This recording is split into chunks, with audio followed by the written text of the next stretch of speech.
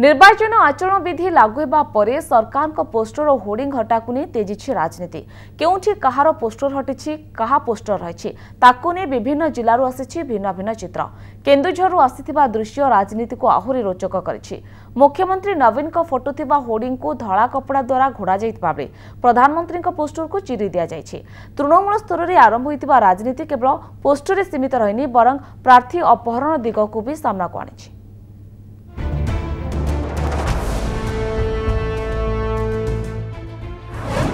ନବୀନଙ୍କ ହୋର୍ଡିଂ ଉପରେ ଧଳା କପଡ଼ା। ମୋଦିଙ୍କ ଫଟୋକୁ ଚିରା ଯାଉଥିବା ଅଭିଯୋଗ। ପଞ୍ଚାୟତ ନିର୍ବାଚନ ପାଇଁ ରାଜ୍ୟରେ ନିର୍ବାଚନ ଆଚରଣ ବିଧି ଲାଗୁ ହୋଇଛି। ରାଜ୍ୟ ସରକାରଙ୍କ ପ୍ରଚାର ହୋର୍ଡିଂ ଏବେ ବି ଲାଗିଥିବା ବେଳେ ବିଭିନ୍ନ ପେଟ୍ରୋଲ ପମ୍ପରେ ଲାଗିଥିବା ହୋର୍ଡିଂକୁ ଚିରି ଦିଆଯାଇଥିବା ଅଭିଯୋଗ ହୋଇଛି। ଅଭିଯୋଗ ଅନୁସାରେ ନବୀନଙ୍କ ଫଟୋ ଥିବା ହୋର୍ଡିଂକୁ ଢାଙ୍କି ଦେଉଛି କେନ୍ଦୁଝର ଜିଲ୍ଲା ପ୍ରଶାସନ ଏବଂ ପ୍ରଧାନମନ୍ତ୍ରୀଙ୍କ ଫଟୋ ଥିବା ହୋର୍ଡିଂକୁ ଚିରି ଦେଉଛି। ଦୁଃଖର ପରିତାପର ବିଷୟ କେନ୍ଦ୍ର ସରକାରଙ୍କର ଯେଉଁ ଯୋଜନା ଯେଉଁ ପେଟ୍ରୋଲ ପମ୍ପରେ ଲାଗିଛି ନରେନ୍ଦ୍ର ମୋଦିଙ୍କର କି ଆଉ କେଉଁଠି ଲାଗିଛି ସେସବୁକୁ ହଟେଇ ଦିଆସରିଛି କିନ୍ତୁ ରାଜ୍ୟ ସରକାର ମାଳମାଳ ବ୍ୟାନର ଏବେ ବି ଲୋକଙ୍କର ଦୃଷ୍ଟିଗୋଚର ହେଉଛି ଆଇ କ୍ୟାଚିଂ ହେଉଛି। ସେପଟେ କଟକ ଜିଲ୍ଲା ବଡମ୍ବା ଅଞ୍ଚଳରେ ନିର୍ବାଚନ ଆଚରଣ ବିଧିର ଖୋଲା ଉଲ୍ଲଂଘନ କରାଯାଉଛି। ବଡମ୍ବା ଅଞ୍ଚଳରେ ଏବେ ବି ରାଜନେତା ବିଧାୟକ ଓ ମୁଖ୍ୟମନ୍ତ୍ରୀଙ୍କ ବଡ଼ ବଡ଼ ଫଟୋ ଥିବା ବ୍ୟାନର ଓ ହୋର୍ଡିଂ ଲାଗି ରହିଛି।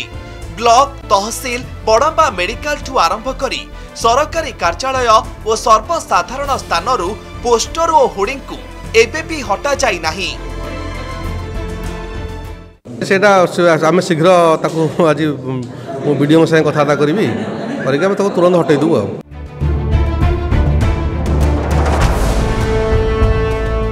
ପଞ୍ଚାୟତ ବିକୁଲ ବାଜି ସାରିଥିବା ବେଳେ ଯାଜପୁର ଜିଲ୍ଲାରେ ନିର୍ବାଚନ ଆଚରଣ ବିଧିର ଖୁଲମ ଖୁଲା ଉଲ୍ଲଂଘନ କରାଯାଉଛି। ଜିଲ୍ଲାର ବିଭିନ୍ନ ସ୍ଥାନରେ ସରକାରଙ୍କ ପ୍ରଚାର ପ୍ରସାର ହେଉଥିବା ବ୍ୟାନର ଓ ହୋର୍ଡିଂ ଏବେ ବି ଲାଗିଥିବା ଦେଖିବାକୁ ମିଳିଛି। ଲକ୍ଷ ଲକ୍ଷ ଟଙ୍କା ବ୍ୟୟରେ ପ୍ରଚାର ହୋର୍ଡିଂ ଲଗାଯାଇଥିବା ବେଳେ ଏହାକୁ ସମ୍ପୂର୍ଣ୍ଣ ହଟାଯିବ ନା ଘୋଡ଼ାଇ ଦିଆଯିବ ତାକୁ ନେଇ ଦ୍ୱନ୍ଦ୍ୱ ଉପୁଜିଛି। କନ୍ଧମାଳରେ ନିର୍ବାଚନ ହିଂସା। ବିଜେପି ବିଜେଡି କର୍ମୀ ମୁହାଁମୁହିଁ। ପଞ୍ଚାୟତ ନିର୍ବାଚନ ପାଇଁ ନାମାଙ୍କନ ପତ୍ର ଦାଖଲ ପ୍ରକ୍ରିୟା ଆରମ୍ଭ ହେବା ପରେ ରାଜ୍ୟର ବିଭିନ୍ନ ଅଞ୍ଚଳରେ ମୁହାଁମୁହିଁ ପରିସ୍ଥିତି ଉପୁଜିଛି। କନ୍ଧମାଳ ତୁମୁଡ଼ିବନ୍ଧ ବ୍ଲକର ଗୁମା ପଞ୍ଚାୟତରେ ପ୍ରାର୍ଥୀଙ୍କୁ ଅପହରଣ ଓ ଘର ଭଙ୍ଗାରୁଜା ଅଭିଯୋଗ ଆସିଛି। ସମିତି ସଭ୍ୟ ପଦ ଲାଗି ବିଜେପି ସମର୍ଥିତ ଅନୁସୂଚିତ ଜନଜାତିର ଜଣେ ମହିଳା ନାମାଙ୍କନ ପତ୍ର ଦାଖଲ ପାଇଁ ପ୍ରସ୍ତୁତି ଚଳାଇଥିବା ବେଳେ ତାଙ୍କୁ ଅପହରଣ କରାଯାଇଥିବା ଅଭିଯୋଗ ହୋଇଥିଲା। ଆଉ ଏହାକୁ ନେଇ ଆରମ୍ଭ ହୋଇଯାଇଥିଲା ଛକାପଞ୍ଝା ବିଜେଡି କର୍ମୀଙ୍କ ଘର ବିଜେପି କର୍ମୀ ଭାଙ୍ଗି ଦେଇଥିବା ନେଇ ଅଭିଯୋଗ ହୋଇଛି। ବେଲଘର ଥାନାରେ ଦୁଇ ଦଳ ପକ୍ଷରୁ ଅଭିଯୋଗ କରାଯିବା ପରେ ଘଟଣାର ତଦନ୍ତ କରୁଛି ପୋଲିସ। ଆସିଛ? ଯ ଏଇଠୁରୁ ଯ ନହେଲେ ଧନୁଶ୍ୱରରେ ଲଛା ହେବ। ନହେଲେ ତମକୁ ବନ୍ଧୁକରେ ଲଛା ହେବ ବୋଲିକି ଗୁଡ଼ାଇ କଥା କହିକି ଆମକୁ ଠେଲି ଠେଲିକି ରାସ୍ତାରୁ ଆଣି ଦେଇଛନ୍ତି ତାଙ୍କେ ତ ହୋଟେଲ ଆଡ଼େ ଚା ପିଇ ଗଲା ଲୋକମାନଙ୍କୁ ଗାଇବ କରିଛନ୍ତି ମୁଁ ସେଟା କେମିତି ଜାଣିବି ତାକୁ ଭେଟିଲେ ସିନା ମୁଁ ଜାଣିବି କ'ଣ ପାଇଁ ନେଲେ କୋଉଠାରେ ଝଗଡ଼ା ହେଲା କ'ଣ ହେଲା ବୋଲିକି ମୁଁ ସବୁ ଇନକାର କରିବି